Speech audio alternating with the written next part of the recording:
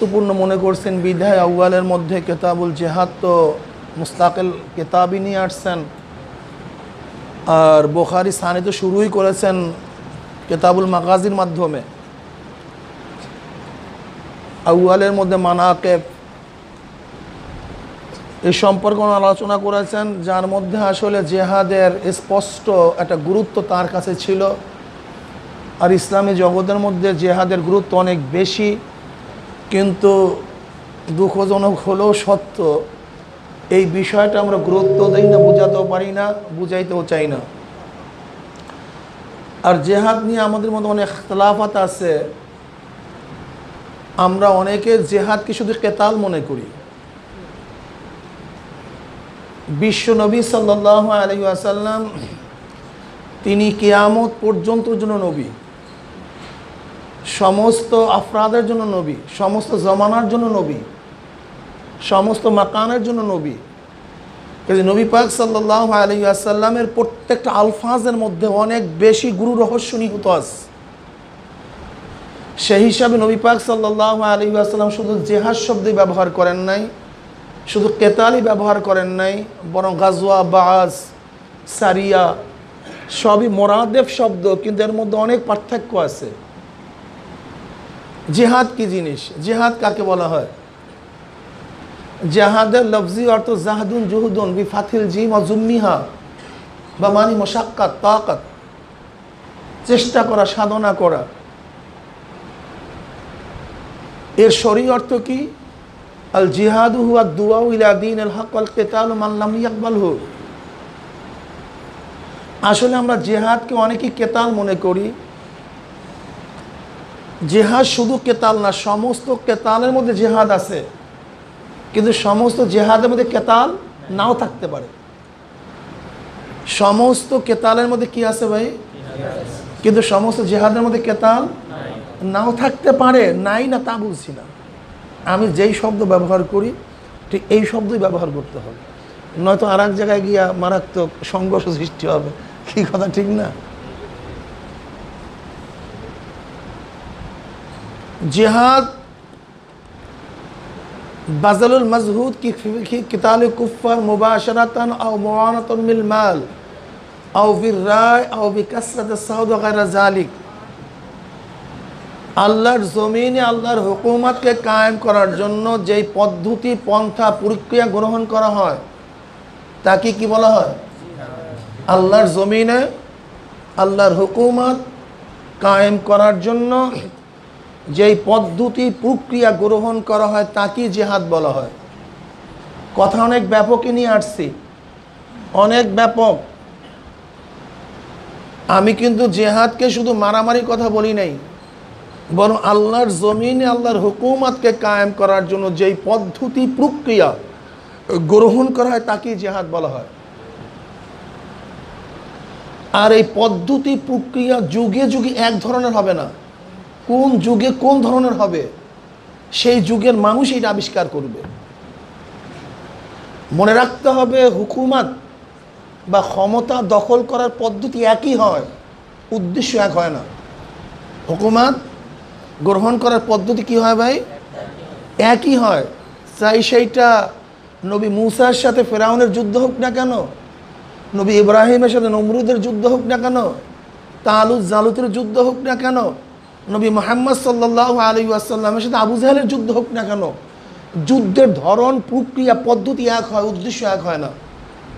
যেমন, নবী পাক সাল্লাহ আলী আসাল্লাম বদরের ময়দান আসছেন, নফসে নফিস। আবু জাহেল, সেও তো নফসে নফিস আসছেন, সশরীর আসছেন। আবু জাহেলের ঘোড়া ছিল নবীর। কথা বলেন না কেন আপনারা? নবীর, আপনার কোন দিকে খেয়াল? আমার দিকে খেয়াল দেন। আমি কি বলতেছি ভালো মতো শুনেন। আবু জাহেলের কি ছিল? নবীর। আবু তরোয়ার নবীর। তারও তো, ইসে ঢাল নবীর। তারও তীর নবীর। তারও ধনক নবীর। তাদের মধ্যে রক্তক্ষরণ হয়েছে নবীর মধ্যেও। তাদের মধ্যে মানুষ মারা গেছে নবীর দলেও। সবই তো সমান, বাহ্যিক দৃষ্টিতে। হু হুবাহু এক। কোনো পার্থক্য নেই। কিন্তু একটা টেরারিস্ট বলছেন, সন্ত্রাসবাদ বলছেন একটাকে ইসলাম বললেন কেন? একজনে মারা গেলে আবাদুল আবাদ জাহান্নাম। কিন্তু আরেকজন মারা গেলে আবাদের জান্নাতি বললেন কেন? কাতেল এবং মাকতুলকে আল্লাহ ফাক রব্বুল আলমিন একই জাহান্নাম একত্রিত করবেন না। এবং যে কাতেল মুসলমান, সে আবাদুল আবাদের জন্য জান্নাত, আর যে কাফের, মাকতুল, সে আবাদুলের জন্য জাহান্নাম। অথচ একই হালাত, একই পদ্ধতি, একই প্রক্রিয়া, একই ত্যাগ, একই সাধনা, সবই তো এক। কিন্তু একটা ট্রারিস্ট বললেন একটা জেহাদ বললেন কেন? কারণটা কি? ক্ষমতা অর্জনের পদ্ধতি এক হয়, উদ্দেশ্য এক হয় না। আবু জেহেলের ত্যাগ, তিতিক্ষা বাহ্যিক রূপ এক ছিল। আমার নবীরও সব এক ছিল। কিন্তু আবু জেহেলের উদ্দেশ্য ছিল আল্লাহর জমিনে মানুষ রচিত আইন, মানুষ রচিত কানুনকে নাফেজ করা, আর আমার নবীর উদ্দেশ্য ছিল আল্লাহর জমিন ইসলাম কায়েম করা। বাহ্যিক এক, নবী মুসা এবং ফেরাউনের হাকিকত এক। ফেরাউন নমরুদ এবং ইব্রাহিমের অবস্থান। এক শুধু তাই নয়, গোটা দুনিয়ার মধ্যে যেখানে ইসলামের সাথে যুদ্ধ হয়, জিহাদ হয়, বাহ্যিক ধরন এক হয়, কিন্তু উদ্দেশ্য এক হয় না। এই উদ্দেশ্যের ভিন্নতা থাকার কারণে একটা হলো জেহাদ হয় একটা টেরারিস্ট টেরারিজম হয়। সন্ত্রাসবাদ হয়, আর ইসলামবাদ হয়। কথাটা বুঝাতে পারছি? যেহেতু সময় খুবই সংক্ষিপ্ত, ওলামায় কেরাম আছেন, আমার কথাটা খুব ভালো মতোই বুঝবেন।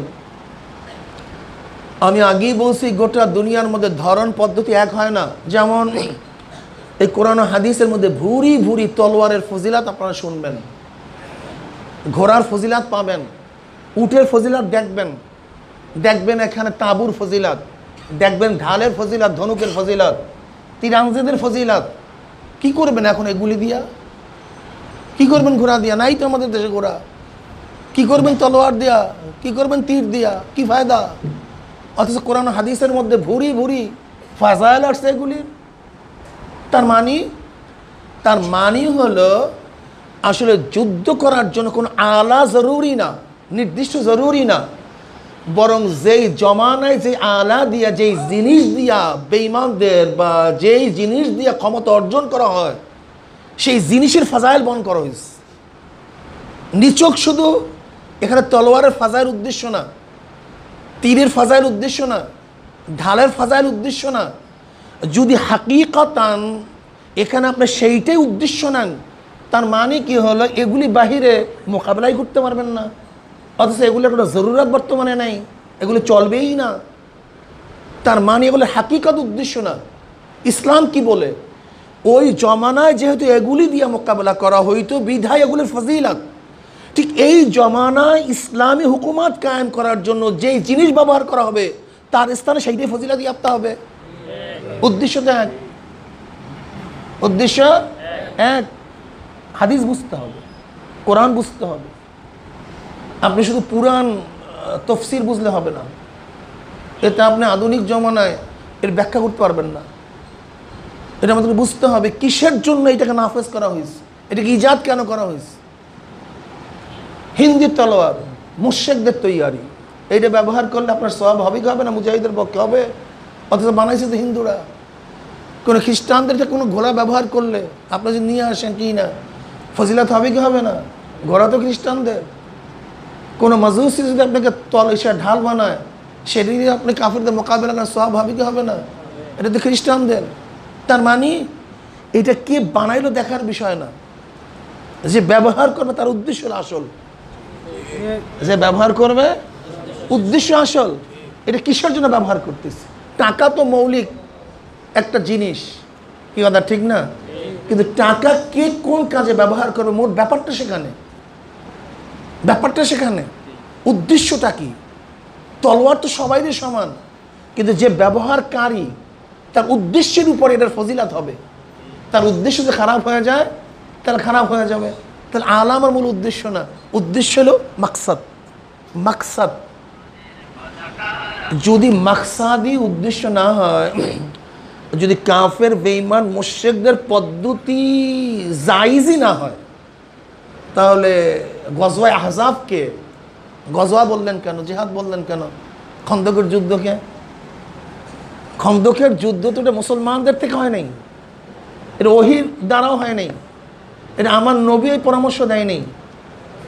যখন গজওয়া হাজাবের সময় চলে আসছে, আপনারা জানেন গজওয়া আহজাব হলো মুসলমানদের বিরুদ্ধে সম্মিলিত কাফেরদের জোটের যুদ্ধ ছিল, সম্মিলিত কাফেরদের জোট। এত বড় কাফেরদের জোট মুসলমানদের বিরুদ্ধে আর কখনো হয়নি। দশ হাজার কাফের একত্রিত হয়ে মুসলমানদের আক্রমণ করেছিল খন্দকের যুদ্ধে। ফেরেশান মুসলমান, কি করবে? এত প্রেশানে নবী পাক সাল্লাহ আলহি আসাল্লাম এর আগে কোনো যুদ্ধ উঠাইছেন কিনা আমার জানা নেই।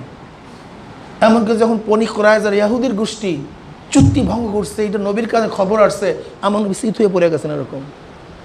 এরকম চাদর দিয়ে সমস্ত চেহারা ঢাইকা নিয়েছেন, অস্থিরতায়, এত মারাত্মক অবস্থা। যাই হোক, সেদিকে আমি যাব না। তা খন্দকের যুদ্ধটা মুসলমানদের জন্য খুব মারাত্মক কঠিন এক যুদ্ধ ছিল। সেই জমানায় এই অবস্থা ছিল, ইসলাম থাকবে কি থাকবে না। বদরের ময়দানের তো অবস্থা ছিলই। আল্লাহ মানসিদ আল্লাহ আলাম ওখানেও বেচিন হয়েছিলেন। কিন্তু তার চেয়েও বেশি বেচিন হয়েছিলেন খন্দকের যুদ্ধ। এত মারাত্মক অবস্থা ছিল। ওইদিকে মদিনার মধ্যে সমস্ত শিশু এবং মহিলাদেরকে রেখে সমস্ত সাহাবারা খন্দকের কিনারে, ওইদিকে বনি কোরআজারা চুক্তি ভঙ্গ করছে। এখন মহিলাদের আর শিশুদের কি নিরাপত্তা দান করবে? যারা হালিফ ছিল, চুক্তির মধ্যে ছিল, তারা যদি চুক্তি ভঙ্গ এই দিক দিয়ে শত্রু আসবে না। আমার সাথে চুক্তিওয়ালা। কিন্তু এহুদিরা চুক্তি ভঙ্গ করছে। নিরাপদ শেষ? এখন এদের অবস্থানটা কি বলেন তো? আমি বললাম না, নবী পাক সাল্লাহ এই খবর শোনার পরে তিনি চিত হইয়া পইরা গিয়া চাদর ঢেকে নিছেন কতক্ষণের জন্য? এত বেশি বেসিন হয়ে গেছিলেন। হজরত সাফিয়া রদি আল্লাহ তালা আনহা নবীর ফুফি মহিলাদের ক্ষেত্রার মধ্যে ছিলেন, বাচ্চাদের হেফাজতে ছিলেন। হাসান বি সাহাবেদ রদি আল্লাহ তার পাহারাদারি করতেছিলেন। এর মধ্যে খসখস খসখস শব্দ পায়। হজরত সাফিয়া রদি আল্লাহ বললেন, দেখেন তো কি আসছে? হাসান বি সাহাবেদ বললেন, আমার ভয় লাগে, আমি যেতে পারব না। এখান থেকে একটা জিনিস বুঝতে হবে। হাসান বি সাহাবেদকে বহুত বড় কবি, যার কবিতার তারণায় মুজাহিদরা ওয়াকাতরে জীবন বিসর্জন দিছে। এত বড় হালে এলেম এত বড় একজন কবি ছিলেন, কিন্তু আল্লাহ পাক তাকে সাহস দান করেন কি দান করেন নাই? সাহস দান করেন, এলেম দান করছে কাজে এখানে এলেম সব জায়গায়, এলেম সব জায়গার জন্য জরুরি না। সব কাজে এলেম ব্যবহার করা যায় না। অথচ সাফিয়া রদি আল্লাহ তালা মহিলা ছিলেন। তিনি ঘরের থেকে লাট আইনা, সেই ইয়াহুদি গুপ্তচরের মাথার মধ্যে বাড়ি মারছেন। আল্লাহ না করুক সাফিয়া রদি আল্লাহ তালা সেই দিন যদি এই কাজ না করতেন তাই মুসলমানদের গোটা ইতিহাস দহরম্ভর হয়ে যেত। গোটা মুসলমানদের ইতিহাস ভিন্ন খাতে প্রবাহিত হইতো। কেন ওই গুপ্তচর যদি যে ইহুদিকে খবর দিতে পারত যে মুসলিম সমস্ত মেয়ের এবং বাচ্চারা নিরাপদহীন, তাদের পাহারাদারায় কেউ নাই। এই খবর দিলেই ইহুদিরা তাদের উপর আক্রমণ করতো, সমস্ত মুসলমান মেয়ে এবং শিশু সব হত্যা হয়ে যেত। মারাত্মক অবস্থা হইতো। কিন্তু সাফিয়া রদি আল্লাহ তাহা সাহসিকতার সাথে কাজ করছেন ইসলামের ইতিহাস ভিন্ন খাত হয়ে গেছে। অর্থাৎ হাসান বিন সাহাবেদ রদি আল্লাহ আনু এত বড় কবি থাকা সত্ত্বেও তার মধ্যে আল্লাহ সাহস দান করেনি লিকুল্লি ফান্নিন রিজাল। লিকুল্লি ফান্নিন রিজাল। লিকুল্লি ফান্নিন রিজাল। যাকে বোঝা বহন করতে দিবা, তার এখানে কি এলেম আছে দেখার বিষয় না? দেখবা তার ঘাড় মোটা আছে কি নেই। যাকে বক্তৃতা করতে দিবা সেখানে মহাদ্দিস কীভাবে সেটা দেখার বিষয় নাই? দেখবা বাঘ পটুতে আছে, কি অবস্থায় আছে? এটা বুঝতে হবে। যাকে যুদ্ধ করতে দিবা। সেখানে দেখো তার কলিজার অবস্থাটা কি? হেদায়তুল ইসলাম রহমতুল্লাহ আলাই আমাদের বাংলাদেশের জাতা কুতুবখানা বলা হইতো। কিন্তু কোনোদিন তাকরির করতে পারতেন না। স্টেজে কথা বলতেন না, ওয়াজ করতেন না। কিন্তু ওনার মতো বহাদ্দিস বাংলাদেশের মধ্যে দ্বিতীয় কেউ গেছে কিনা আমার জানা নেই। আল্লাহ এক একজনের একজন মেজাজ দিয়া দেয়। কিন্তু আপনাদের আমাদের মধ্যে মেজাজ হয়েছে কি? যে কাজ যেটা করবে সেটা এলেব জুগাই দিই। মহাদ্দিস কিনা, মুফতি কিনা, অমুক কিনা, তুমুক কিনা। কি করবে এটা? এদেশে তো বহুত ব্যারিস্টার ছিল, বহুত পণ্ডিত ছিল, কিন্তু শেখ সাহেব তো অনেক নিচের ক্যাডারের নেতা ছিলেন, অনেক নিচের ক্যাডারের। কিন্তু সে তো ঘটনা ঘটাই দিস। এটা আমাদের মেজাজ বইনা গেছে ওলামাই কেন মেজাজ বইনা গেছে আরে ভাই, যাকে যে কাজ করার সুযোগ, সেই কাজ করতে দাও। এর জন্য তো আমরা কিছু করতে পারি না। আমাদের সমস্যা এখানে। দূরদর্শীদের খুবই অভাব। আমরা যাকে যেই কাজে লাগাতে পারি না, যে গজল গাইতে পারে তাকে গজলের কাজে লাগাই, যে বক্তৃতা করতে পারে তাকে বক্তৃতার কাজে লাগাই, যে হাদিসের দর্শ দিতে পারে তাকে হাদিসের দর্শে লাগাই, যে ফতুয়ার কাজ করতে পারে তাকে ফতুয়ার কাজে লাগাই। কিন্তু আমাদের মধ্যে উদারতা নাই অসাত নেই। সব জায়গায় এক জিনিসকে আমরা যোগাই দিই, এলেম আছে কিনা? তোমার কাছে এলেম কেউ ধার নিছে? এলেম কেউ চাইছে বলো? কে তোমার কাছে এলেম চাইছে? তুমি কার এলেম খোঁজ করতেছ? তুমি কার এলেমের খোঁজ করতেছো? কে তোমার কাছে এলেম চাইছে? হ এলেমের মধ্যে পার্থক্য থাকতেই পারে যেমন হাদি হাফিজুল বুখারি। এখানে অনেক মহাদিস আছে। ওনার হয়তো বেশি আছে, কারোর একটু কম আছে। কোনো বিষয়ে কারোর বেশি আছে, কারোর বিষয়ে কম আছে। থাকতেই পারে। তুমি সব পণ্ডিত না, আমিও সব পণ্ডিত না। আমি সব যোগ্যতার অধিকার না তুমি সমস্ত যোগ্যর অধিকার না। বলো তুমি সমস্ত যোগ্যতার অধিকারী কিনা? তুমি কামেল কিনা? তা তুমি যেরকম কামেল না, আমিও কামেল না। তুমিও নাকাস আমিও নাকেস তা সমস্যা কি? ইল্লাত তো একই। কি কথা, ঠিক না? এগুলি হলো আমাদের মধ্যে সবচেয়ে মানে অদূরদর্শিতা। শোনেন, আমাদের দেশের ওলামাই কেরামের সবচেয়ে বড়, এটা আমাদের নসিব। আমাদের নসিব। আসলে নেতৃত্ব দেওয়ার যেই বয়স, সেই সময় আর কেউ নেতা মানি না। বুঝলেন কি বুঝ যখন নেতৃত্ব দেওয়ার বয়স, তখন তাকে নেতা মানি না। কিন্তু যখন চোখে দেখি না, কানে দেখি না, তখন সবাই নেতা মানি। এটা দুঃখ। এটা দেশের জাতির দুঃখ এবং কষ্ট। অথচ দেখেন, ইমামতি কোবরার জন্য শর্ত কি? আইয়াকুন আল ইমামু আকেলান আইয়াকুন আল ইমামু বালেগান। আইয়াকুন আল ইমামু মুসলিমান আইয়াকুন আল ইমামু মুস্তাহিদান ফিল উসুল আল ফুরুয়ে আইয়াকুন আল ইমামু কবিউল কল ফিল হরব আসলাহে দেখেন ইমামতি কোবরার শর্ত কি? সবাই জানে ওলামাই কেন কিন্তু কেউ আমল করি না। কে এর মধ্যে নেই? এমন সময় নেতা বানবো, যখন বেচারা সবাই ধরতে হয়, সবাই চালাতে হয়, সবাই পড়াতে হয়। আজীব। এক দেশ, বৈচিত্র্যময় দেশ আমাদের দেশ। সমস্ত নবীদেরকে আল্লাহ রব্বুল্লাহ নবুয়াদ চল্লিশের পর। এবং সে যত কাজ করছে নবীরা সব চল্লিশ সাইডের মধ্যে কাজ শেষ। এরপর নাই, দুনিয়াতেই নাই, অধিকাংশ নবী। আমার নবী তো পঁয়ষট্টি বছর দুনিয়ার থেকে তেষট্টি দুনিয়ার থেকে বিদায় হয়ে গেছে। ওনার কাজ শেষ। এখন ওনাকে ধরতে হবে, চালাতে হবে নবুয়াতের কাজ নেই। এ নবু হতে পারবে না। কথা বোঝাতে পারিনি? এটা বিশাল দায়িত্ব। এ হলো অবস্থা আমাদের দেশের। সবচেয়ে চমৎকার এক দেশ যখন কাজ করতে পারে তখন কাজ দেয় না। যখন কাজ করতে পারে না,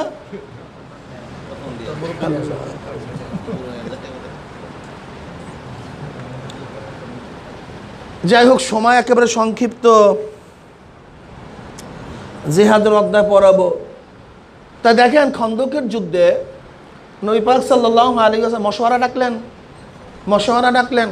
কি করব? কীভাবে তার মোকাবেলা করব? উপায় তো নাই। হজরত সালমান ফার্সি রদি আল্লাহ বলেন, ইয়া নবী আল্লাহ, আমাদের দেশে শত্রুদের মোকাবেলার এই পদ্ধতি গ্রহণ করা হয়। তিনি ছিলেন মাজুসি, পারস্যের অধিবাসী। তার চোদ্দ গোষ্ঠী সব হলো অগ্নিপুজো আর এই খন্দকের পদ্ধতি ব্যবহার করা পারস্যে। তারা কারা? সব মুর্শিক একটা খালেস মোর্শেক ভেজাল মুক্ত মোর্শেক সবগুলি। তাহলে এই খন্দকের পদ্ধতি কোথার মোর্শেকদের মাজুসিদের ব্যবহার করছে কারা মুসলমানরা কিন্তু খন্দক খুদ্দি গিয়া ফজিলাত ইয়াপ্তা হয়েছে কারা সাহাবারা লা আয়সা ইল্লা আয়সা আখিরা আল্লাহ মানজির আল্লাহ মাকফিল আনসার আল মুহাজিরা নাহনুল্লাযী বায়াউ মুহাম্মাদান আলাল জিহাদি মা বাকিনা আবাদা اللهم لولا أنت ما هتدينا ولا تصدقنا ولا صلينا فأنزل السكينة علينا وثبت الأقدام إن لكينا ফাইনাল আলাইনা ওয়াইন আবাইনা কিন্তু পদ্ধতি সম্পূর্ণ মজুসিদার মুর্শেকদের ডাইরেক্ট খালেস মুর্শেক আমাকে প্রশ্নের জবাব দেন ওলামাই কেরাম, এখানে বহুত মহাদ্দেশেন কেরাম আছেন। যদি খালেস মুর্শেকদের পদ্ধতি মুসলমানরা গ্রহণ করলে জিহাদ হয়, যুদ্ধ হয়, তাহলে আজও যদি কোনো পদ্ধতি খ্রিস্টানদের হয় এবং তার মাধ্যমে যদি ইসলাম বিজয় অর্জন করতে পারে, সেটা ফজিলাতি আপতা হবে না কেন? আমি আগেই বলছি, বুঝতে হবে, যুদ্ধের পদ্ধতি এক, প্রক্রিয়া এক, কিন্তু উদ্দেশ্য এক না। গোটা দুনিয়ার মধ্যে যুদ্ধের পদ্ধতি, প্রক্রিয়া, কিন্তু উদ্দেশ্য এক হয় না। আজকেও দেখেন ওরা পোস্টার নিয়ে আসবে, আমরাও পোস্টার নিয়ে আসব। ওরাও মিছিল নিয়ে আসবে, আমরাও মিছিল নিয়ে আসব, ওরাও মিটিং নিয়ে আসবে, আমরাও মিটিং নিয়ে আসব। ওরাও সেমিনার নিয়ে আসবে, আমরাও সেমিনার নিয়ে আসব, ওরাও উঠান বৈঠক নিয়ে আসবে, আমরাও উঠান বৈঠক নিয়ে আসব। কিন্তু ওদেরটা টেরারিস্ট হবে টেরারিজম হবে, সন্ত্রাসবাদ হবে। আমাদের ইসলাম হবে কেন? কারণটা কি? কারণটা কি? উদ্দেশ্য ভিন্ন। ওরা চায় নৌকা, সেকুলার কায়েম করতে। ওরা চায় ধান, ডেমোক্রেসি কায়েম করতে। ওরা চায় কাঁচতে গরুর গাড়ি, হাতুড়ি, কমিউনিজম কায়েম করতে। আমরা চাই হাত পাকে ইসলাম কায়েম করতে। এই দুই দেশ তো এক না। বাহ্যিক এক পদ্ধতি এক সব এক। যেমন ঘোড়া এক তলোয়ার এক ঢাল এক তীর এক রক্তকরণ এক মারা যাওয়া এক উদ্দেশ্য ভিন্ন। আজকে ওদের পদ্ধতি আমাদের পদ্ধতি। যদিও বাহ্যিক দৃষ্টিতে এক কিন্তু উদ্দেশ্য ভিন্ন হওয়ার কারণে ওরা চায় আল্লাহর জমিনে গণতন্ত্র ডেমোক্রেসি কায়েম করতে সোশ্যালিজম কায়েম করতে ক্যাপিটালিজম কায়েম করতে কমিউনিজম কায়েম করতে, আর আমরা চাই ইসলাম কায়েম করতে। এর জন্য ওদেরটা হলো টেরারিস্ট সন্ত্রাসবাদ, আর আমাদেরটা হলো ইসলামবাদ। এটা বুঝতে হবে। অনেকেই মনে করেন এলি নির্বাচন আর গণতন্ত্র এক জিনিস। ভুল। গণতন্ত্র ভিন্ন, নির্বাচন ভিন্ন। আমরা কি বলছে অমুক দিন গণতন্ত্র হবে ডেমোক্রেসি হবে? নির্বাচনের যেই ডেট এই নির্বাচনের ডেটের দিন কেউ কি বলছে গণতন্ত্র হবে? কি বলছে ভাই? নির্বাচন হবে। ডেমোক্রেসি সম্পূর্ণ ভিন্ন জিনিস। ডেমোক্রেসি মানে ড্যামো ডেমোক্রেসি এটা গ্রিক শব্দ। এটা আমাদের দেশে ইংলিশ শব্দ না আরবি শব্দ না। ডেমোক্রেসি এটা গ্রিক শব্দ। ড্যামো মানে জনগণ, কৃষি মানে আইন। ডেমোক্রেসির অর্থ হলো জনগণের আইন, জনগণের কর্তৃত্ব। এটার মূল কলেমা কি? By the people of the people for the people এটা হলো গণতন্ত্রের মূলতন্ত্র by the people of the people for the people এটা প্রথম আবিষ্কারক সক্রেটিস তার সাথে প্লেটো তার সাথে অ্যারিস্টোটাল তারপরে মন্টেস্কো তারপরে ল এখান থেকে আসছে এটা ভিন্ন জিনিস এটা থিওকিরাসির বিরুদ্ধে থিওক্রাসি থিউ মানি এটাও গ্রিক শব্দ থিউ মানি খোদা ইলা ক্রাসি মানে আইন ডেমোক্রেসি এবং সোশ্যালিজম এবং সেকুলারিজম এর আগে গোটা দুনিয়া চলতো থিওক্রাসির ভিত্তিতে। এই থিওক্রাসিকে দুনিয়ার থেকে ধ্বংস করার জন্যই হয় সোশ্যালিজম এবং ক্যাপিটালিজমের আবিষ্কার এবং সেকুলার আবিষ্কার। কথা বুঝাতে পারিনি। কথা তো সংক্ষিপ্ত। ইসলাম বাদ ডেমোক্রেসি বাদ সম্পূর্ণ ভিন্ন। ডেমোক্রেসি একটা আদর্শ নীতি। একটা আদর্শের নাম ডেমোক্রেসি সেকুলারিজম নাম, একটা আদর্শের নাম সেকুলারিজম কিন্তু নির্বাচন নির্বাচন ইলেকশন নেতা নির্বাচনের পদ্ধতি। একটা হলো ডেমোক্রেসির আদর্শ। একটা নীতি। আর নির্বাচন নেতা নির্বাচনের পদ্ধতি। দুইটি এক জিনিস না ফার ফার ডিফারেন্স হলো নেতা নির্বাচনের পদ্ধতি, আর নেতা নির্বাচনের পদ্ধতি ইসলামে এক ধরনের নাই। ইসলাম নির্দিষ্ট নেতা নির্বাচনের পদ্ধতি করেনও নাই। এর জন্য চার খলিফা চার রকমের নির্ধারিত হয়েছেন আবু বক্কর রাদি আল্লাহদের পদ্ধতি এক ওমর রাদি এক, ওসমানের এক, আলী রাদি এক। কেন কারণটা কি? ইসলাম আদর্শ দিছে, নীতি দিছে, কিন্তু নেতা কীভাবে নির্বাচন করবেন? এই পদ্ধতি দিল না কেন? কারণটা কি? গভীর চিন্তার বিষয়। কারণ গোটা দুনিয়ার জন্য ইসলাম, গোটা আলমের জন্য ইসলাম, গোটা মানবের জন্য ইসলাম। যদি ইসলাম নেতা নির্বাচনের কোনো একটা ডাইরেক্ট পদ্ধতি দিতেন, হতে পারত, কোনো এক জমানায়, তাদের এলাকার সাথে এই পদ্ধতি সাংঘর্ষিক, এরা মানতে পারতো না। তাহলে ইসলাম হাইরে যেত হতে পারতো কোনো এক এলাকায় এই পদ্ধতি গ্রহণযোগ্য না, ইসলাম হাইরা যেত এর জন্য নেতা নির্বাচনের পদ্ধতি ইসলাম দেয় নাই। কিন্তু নেতা কোন আদর্শ অনুযায়ী তুমি ক্ষমতা চালাবা? সেই পদ্ধতি ইসলাম দিয়ে দিস। দেখছেন অবস্থা নাকি? ইসলাম কত মারাত্মক। দেখেন, বুঝতে হবে, আমাদেরকে অনেক জিনিস বুঝতে হবে। আমরা এটা বুঝিও না, গবেষণাও করি না, এর জন্য আমাদের সমস্যা। আমি আগেই বলছি, নেতা নির্বাচনের পদ্ধতি এক হয় না। এটা হতে পারে, বংশক্রমে হতে পারে। এটা হতে পারে, জোরপূর্বক হতে পারে। এটা হতে সিলেকশনের মাধ্যমে হতে পারে। এটা হতে পারে জন্মগত হতে পারে। গোটা দুনিয়ার পদ্ধতি এক হয় না। আমি কথাটা বুঝাতে পারি না নেতা নির্বাচনের পদ্ধতি এক হয় না। এটা হাজারো ধরনের হতে পারে। গোটা দুনিয়ার মধ্যে প্রেজেন্ট এখনও গোটা দুনিয়ার নেতা নির্বাচনের পদ্ধতি এক না। এখন প্রেজেন্ট গোটা দুনিয়ার মধ্যেও। ফিলহাল গোটা দুনিয়ার মধ্যে এখনও নেতা নির্বাচনের পদ্ধতি এক না গোটা দুনিয়ার মধ্যে। তাহলে নেতা নির্বাচনের পদ্ধতি বিভিন্ন হতে পারে। কিন্তু এই নেতা কোন আদর্শ, কোন নীতি নির্দেশ পরিচালনা করবে মূল দেখার বিষয় এখানে। মূল ফ্যাক্ট এখানে। কথা বুঝাতে পারি নাই? ইমাম সাহেব দ্বারা করব। ইমাম সাহেবের পদ্ধতি এক, নির্বাচন করা কিন্তু ইমাম সাহেব যে কি করবে, সেটা ইসলাম বাতায় তোমার এই কাজ করতে হবে, এর বাইরে কাজ করতে পারবে না। এর বাইরে কাজ করার সুযোগ নেই। কিন্তু ইমামকে কি নির্বাচন করবে? ইমামের মূল চরিত্র বাতায় দিছে ইসলাম। ইমাম এইটা হতে হবে, এইটা হতে হবে, এইটা হতে হবে। ঠিক ইসলামের মধ্যে নেতার কোয়ালিটি বাতায় দিস। যে নেতা হবে তার কোয়ালিটি এইটা হবে, এইটা। কিন্তু কীভাবে নির্বাচন কর এখানে একশো জন আছে কোয়ালিটি সম্পন্ন। ইসলাম কোয়ালিটি বাতাই দিস। আইয়াকুলের মুসলিমান বা লেগান আ কেলান কবিউল কর কি কথা ঠিক না? এখন একশো জন আছে। এর মধ্য থেকে কাকে নির্বাচন করবা? এটা তোমরা সিদ্ধান্ত করে নাও।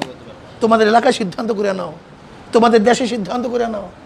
তোমাদের যুগে সিদ্ধান্ত করে নাও এখন এই নেতার কোয়ালিটি ইসলাম বাতায় দিছে। এখন এই ইসলাম কোয়ালিটি বাতাবার সাথে সাথে এই নেতায় চেয়ারে বৈশা কোন আদর্শ অনুযায়ী দেশ চালাবে সেটাও কি বাতায় দিছে? ইসলাম বাতায় দিছে। কাজী জেহাদের অধ্যায় পড়াইতেছি। আসলে আমার বহু সময় লাগবে, কিন্তু আমি মৌলিক কথাটা বলতেছি আপনাদেরকে যে যাদের ব্রেনের মধ্যে, মগজের মধ্যে একটা জিনিস ঢুকে গেছে যে আসলে নির্বাচন মানেই গণতন্ত্র ডেমোক্রেসি আসলে এটা তাদের ভুল, একটা থিম ভুল থিওরি এই ভুল সূত্রের কারণে আমাদের অনেক জায়গায় ডিফারেন্স হয়ে যাইতেস অনেক মারাত্মক আমাদের মধ্যে পার্থক্য হয়ে যাইতেস কি কথাটা বোঝাতে পারছি? কাজে ডেমোক্রেসি আর নির্বাচন এক না। ডেমোক্রেসি হলো একটা আদর্শ নীতির নাম, আর নির্বাচন হলো নেতা নির্বাচন করার পদ্ধতি। দুইটা ভিন্ন জিনিস। তো বলতে পারেন হুজুর আপনার নেতা নির্বাচন করতেছেন তো গণতন্ত্রের মাধ্যমে আওতায়? হ্যাঁ আওতায়। কোনো সন্দেহ নেই? তুমি কোন আওতায়? আমরা কোন আওতায় আছি, বলেন? দেখেন মানুষ খুব ভালো মতো বুঝছেন তোমার বিবাহ গণতন্ত্রের আওতায়। তোমার মেয়ের বিবাহ গণতন্ত্রের আওতায়। তোমার মসজিদ গণতন্ত্রের আওতায়। তোমার মাদ্রাসা গণতন্ত্রের আওতায়। তুমি কেসে পড়লে গেল গণতন্ত্রের আওতায়? তুমি হজে যাও গণতন্ত্রের আওতায়। তুমি তোমার জমি কেন গণতন্ত্রের আওতায়? তখন একবারও স্বীকার করো নেই। তখন একবারও প্রশ্ন তুলে নেই। কিন্তু যখনই নেতা নির্বাচন করার ব্যাপারে আসে, তখন তোমার এত ফতুয়া কেন? কারণটা কি? এই ফতুয়া তোমার না। আর তোমার মনে রাখতে হবে। এই ফতুয়া তোমার না। তুমি তো এই সাগরের মধ্যেই ডুবা। তোমার ছত, এখানে যে কথা বলতেছি, কিসের আওতায় কথা বলতেছি? আমার খেয়াল আছে যে সরকার বিরোধী কোনো কথা না হয়ে যায়, যে এটা দেশদ্রোহী হয়ে যায় কিনা। এটা আমার খেয়াল আছে। এত সহজ মনে করি আর না। তুমি তো এর মধ্যেই ডুবা। তুমি যা করতেছো, সব তো এর মধ্যেই। কত সূক্ষ্ম চিন্তা করে দেখেন এই ব্যাপারে। অথচ তার হাজারো ব্যাপার এর বাহিরে সেই সাগরের মধ্যে ডুবান্ত, তখন কোনো টেনশন আসে না এখানে এসে যত মাথার মধ্যে পান এই বুদ্ধি, এই ফতুয়া তোমার থেকে আসে নাই। এটি ইয়াহুদ এবং খ্রিস্টানরা তোমার মাথায় ঢুকাই দিচ্ছে কারণ কারণ কারণ গোটা দুনিয়ার মধ্যে বর্তমান ইসলামকে সামনে অগ্রসর করার যেহেতু ক্ষমতা দখল করার পদ্ধতি এক হয়, ভিন্ন হয় না। আর একই হয় না। যেমন, ফতে মক্কার পদ্ধতি কি এক ছিল? খন্দক কি এক ছিল? খয়বার কি এক ছিল? হেমস কি এক ছিল? এই সাদ বিন আবি আক্কাস রাদি আল্লাহ আফ্রিকার জঙ্গল দখল করছেন কি? এক ছিল। সম্পূর্ণ ভিন্ন ভিন্ন। এক কথা হারব খাদা। যুদ্ধ একটা কৌশল। কোন কৌশলে কখন কোন দেশ আপনি কীভাবে দখল করবেন, এটা আপনি কৌশল গ্রহণ করবেন। এটা আমি কিসের দেব? কিন্তু তোমার ওই সমস্ত জায়গায় মাসালা ফতু আসে না। কিন্তু যখনই তোমার এখানে আসে, তখন ফতু আসে কেন? কারণটা কি? এই পদ্ধতিতে অন্য কেউ ক্ষমতা দখল করে। যদি মৌলবীরা এখানে ফতুয়া না দেয় তাহলে মৌলবীরা একদিন ক্ষমতা দখল করতে পারে। কাজে খবরদার তখন আমাদের মসনাস তসনাস হয়ে যাবে। কাজে ওদের মাথার মধ্যে আমরা ফতুয়া ঢুকাইয়া দেওয়া দাও যে অন্য পথে তারা ঘুরুক, এই পথের জন্য সন্ধানই ওরা না পায়। জিহাদ অর্থে কি? আল জিহাদ হু আর দোয়া ইলা দিন হক। অল কেতাল মাল্লাম ইয়াকবাল হু জিহাদের তো এক অর্থ হইলে দিন হকের দিকে দাওয়াত দেয়া। তো নির্বাচনে যত বেশি দাওয়াত দেওয়া যায় এত বেশি দাওয়াত দেওয়ার সুরত আমি আর কোনো জায়গায় দেখি না। কি কথা বলেন নাকি? যদি কবুল না করে জন্য আমি বলছি সমস্ত জিহাদি কেতাল না সমস্ত কেতালের মধ্যে কি আছে? জিহাদ আছে। হতে পারে আমরা সূচনা করছি যদি কোনো গিয়া দেখি ওরা আমাদেরকে বাধা দেয় তখন ওই ফর্দে কামেলে তো ব্যবহার করা হতে পারে।